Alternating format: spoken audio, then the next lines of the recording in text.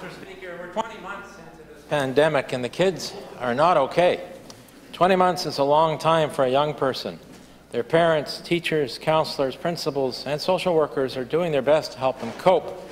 But this is not easy for them either. Students are stressed, parents are stressed, teachers and administrators are stressed, and guidance counselors and social workers are overworked. What can we do, Mr. Speaker? Well, we can provide a forum for everyone to be heard on how they're coping or not, to be listened to in order to effect some change. Let's prove to them that the Legislative Assembly is more than a chatterbox. Let's send a message that the well being of students, parents, teachers, and principals is important to us.